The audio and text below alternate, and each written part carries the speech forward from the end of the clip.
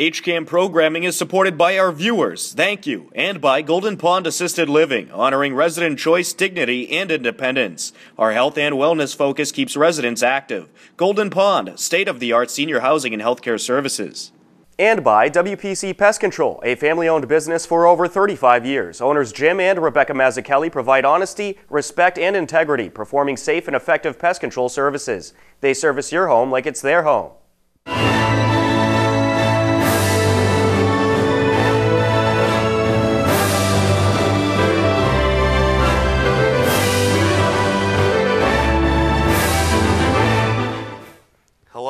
And welcome to HCAM News. Tom Nappy at the anchor desk to keep you up to date with what's happening in Hopkinton. On this edition of HCAM News, we are on the scene at Hopkinton High School International Night. The Hopkinton Center for the Arts annual gala featured some great entertainment, and Hopkins Middle School hosted their annual Veterans Day ceremony. But first, here are some happenings in Hopkinton you should know about.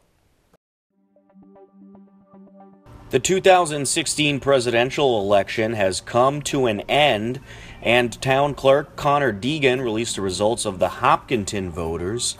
Clinton and Kaine received 5,358 votes compared to the 2,911 votes for Trump and Pence. Joseph Kennedy received 6,089 votes for Congress compared to David A. Rosa's 2,964. Robert Jubinville received 4,731 votes compared to 3,696 for Brad Williams for the governor's counselor. To see more results of Hopkinton voters, visit our website hcam.tv. Construction for the new Hopkinton Elementary School has started. The official groundbreaking ceremony recently took place. We have a uh, legislative citation uh, I will just, you know, read it that that it's congratulate congratulations to the Hopkinton Elementary School Building Committee in recognition of your joyous occasion of the groundbreaking for Hopkinton's new school, and that uh, we wish you continued success and uh, all the best. And and uh, here it's yours. Congratulations.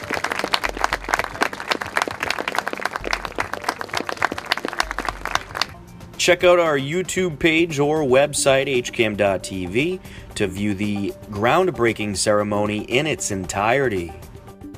Hillers Volleyball won their first two playoff games and has advanced to the sectional championship to take on Canton.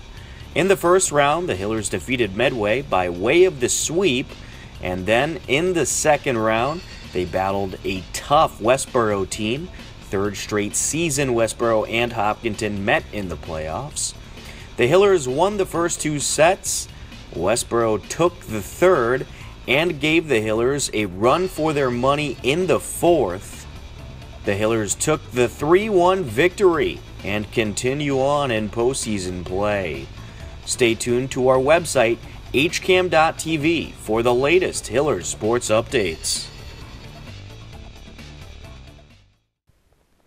Hopkinton High School hosted International Night, and attendees had the chance to talk with 22 exchange students from several different countries.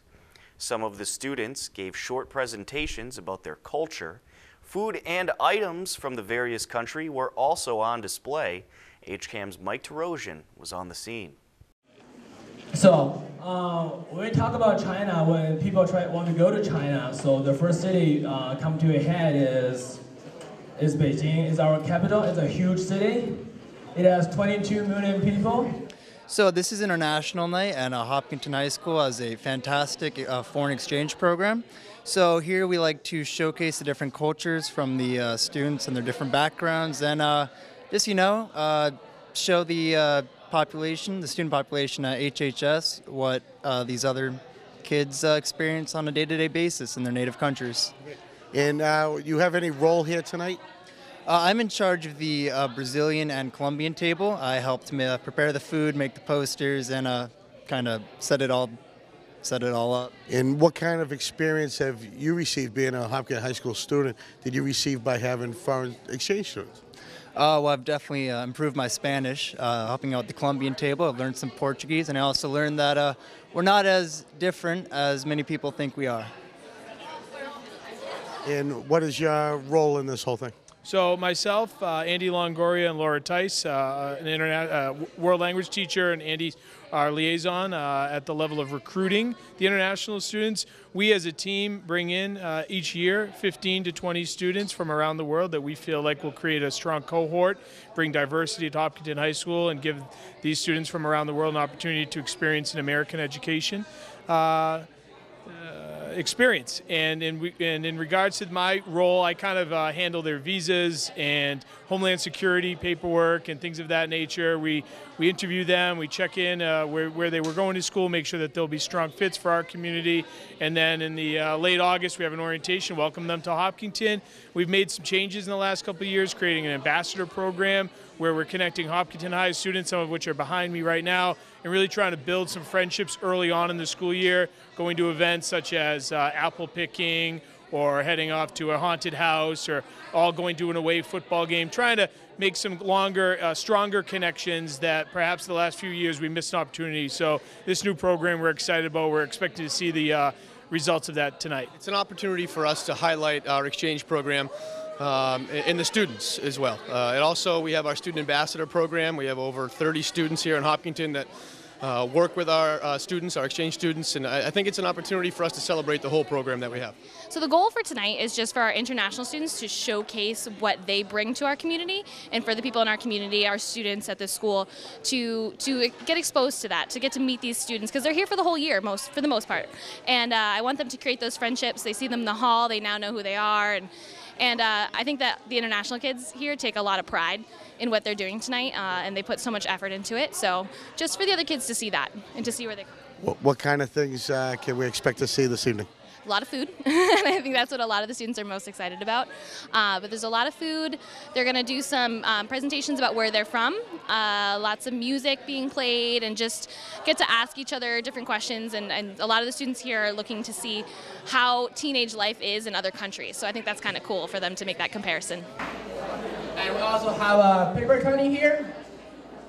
They are excited. The, um, the Ambassadors Club is responsible for the production of tonight's event, and this is their first year. They have just energy that uh, and excitement that uh, comes with doing it for the first time. Yeah, there's a little anxiety on that on that part, but there's also that excitement of really wanting to show their stuff and do the best they can. And I think that's what that's what you see as far as their energy goes. Yeah. And that that one exam is so important that will decide where you go where you will go to college.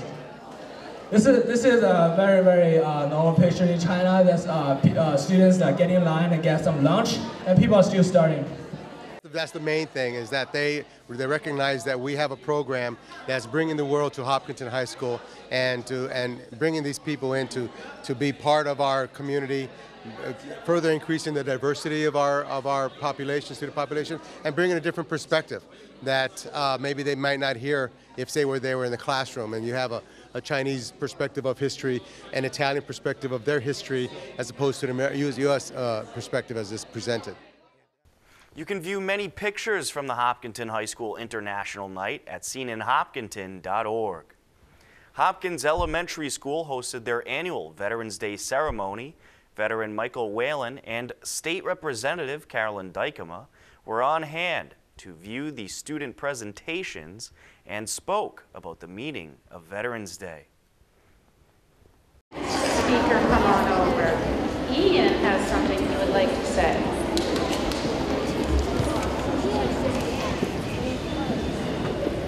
On November 11th each year, we celebrate Veterans Day.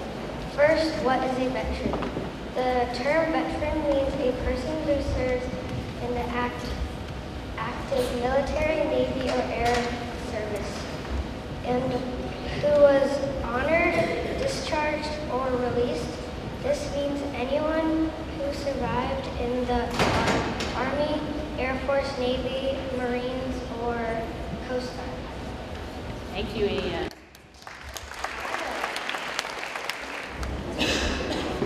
How did Veterans Day begin? Veterans Day was originated as Armistice Day on November 11, 1919, the first anniversary of the end of World War I. Congress passed a resolution in 1926 for an annual observance, and November 11th became a national holiday beginning, in 1938.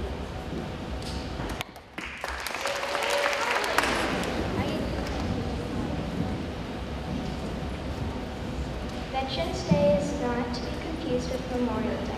Memorial Day, the fourth Monday in May, honors American service members who died in service to their country or as a result of injuries occurred during battle. While Veterans Day pays tribute to all American veterans, living or dead, but especially gives thanks to living veterans who served their country honorably during war or peace. It will be our last. I would like to read you a poem about Veterans Day. This poem is called Thank a Veteran by Whitney Schiffensburg. Thank a Veteran. Today is the day we honor the noble and the brave, the men and women who dedicated their lives and the sacrifices that they have made. When America had an urgent need, they were the first to raise their hands. Without thinking twice about it, they were proud to take a stand. Some came back from war with black, with battle scars, others in black-draped coffins. Even though their flesh may have left, their spirits will never be forgotten. They unselfishly and knowingly put their lives on the line. So when you see a veteran, thank them, because without them, freedom would have died. Thank you.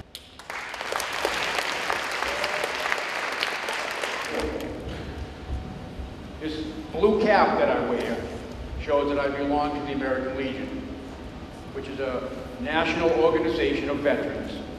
And you may have seen us marching through town on Memorial Day or placing flags on veterans' graves at our cemeteries. But I'm here today to talk about Veterans Day. Aside from a day off from school, Veterans Day honors all men and women who have served in the military.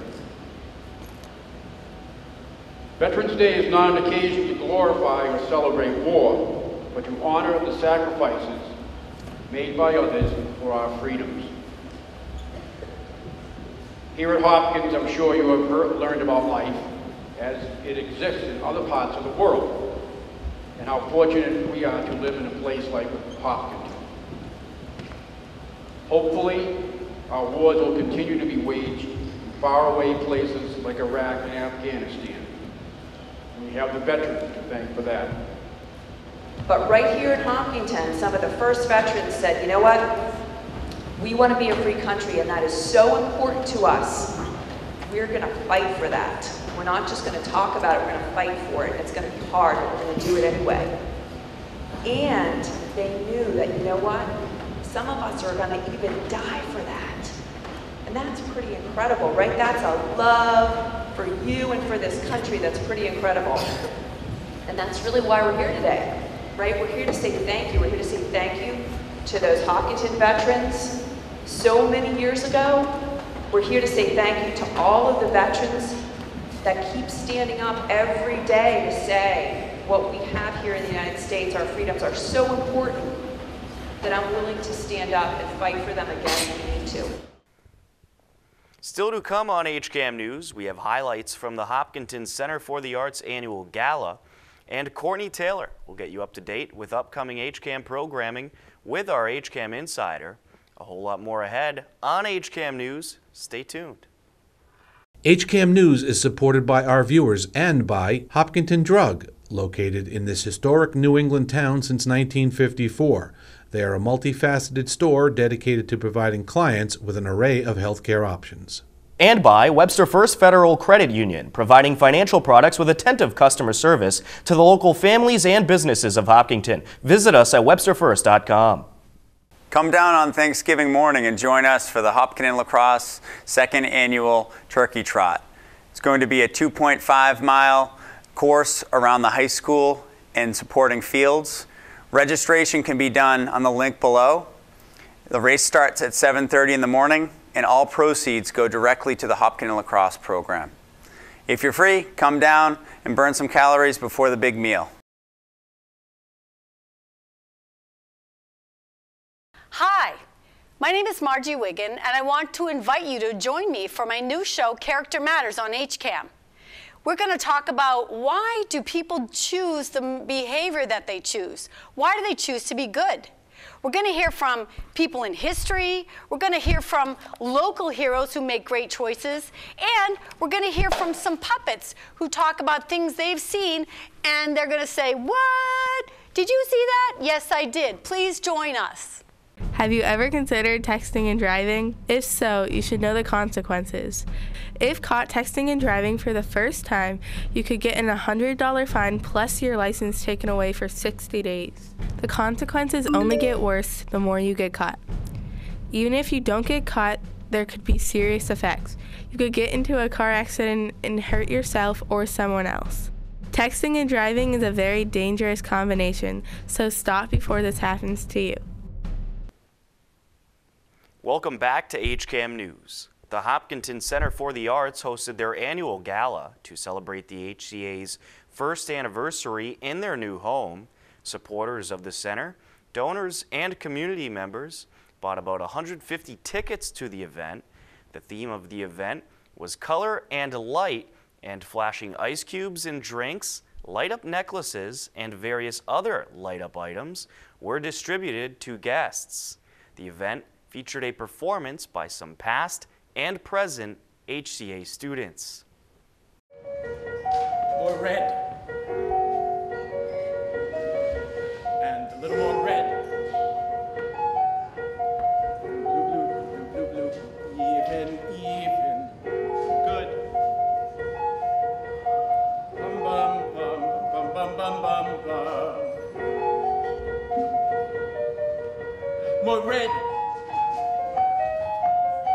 Blue.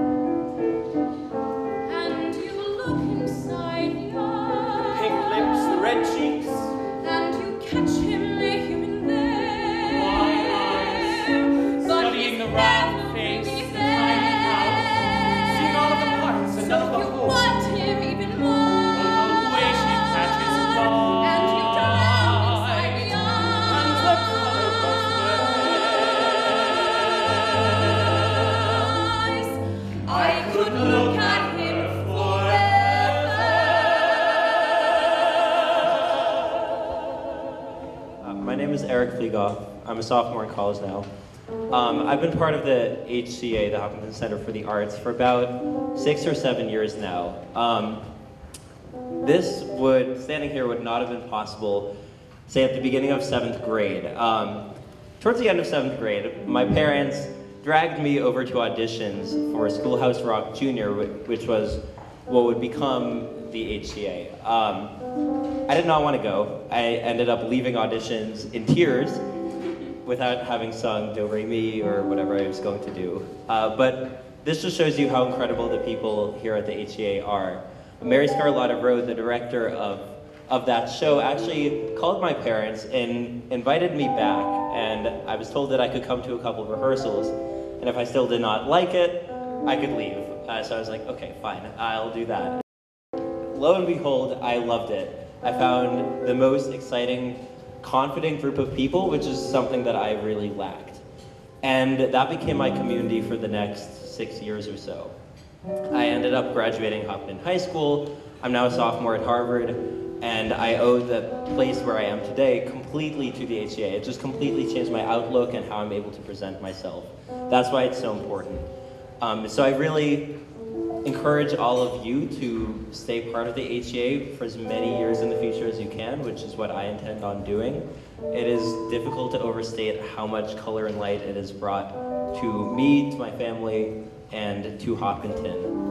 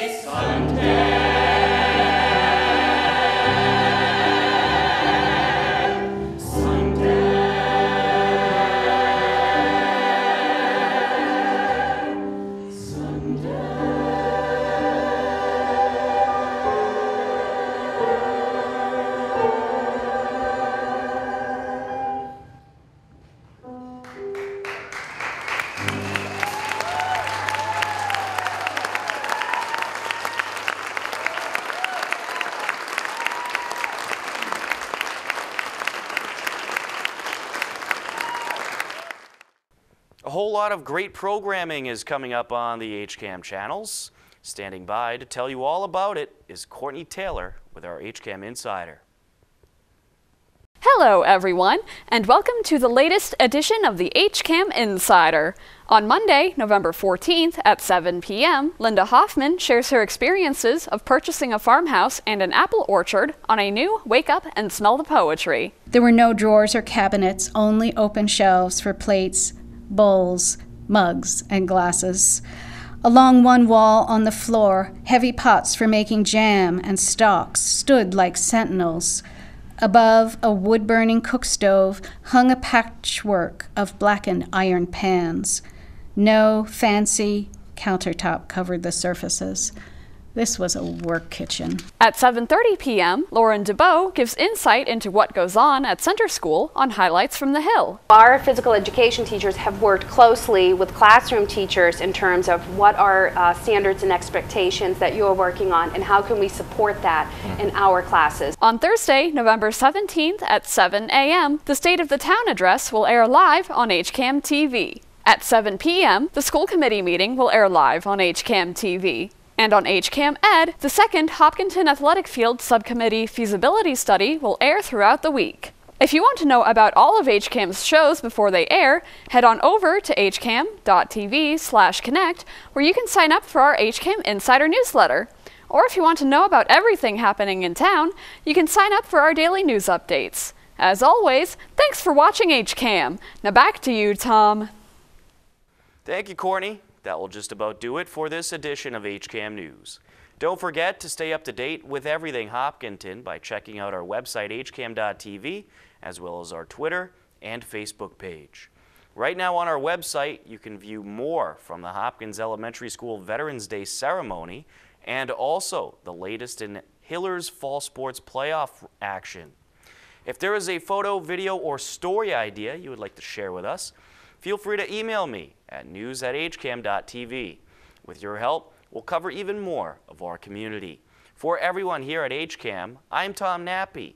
We leave you now with the current community listings and upcoming government meetings. Take care, and as always, thanks for watching HCAM.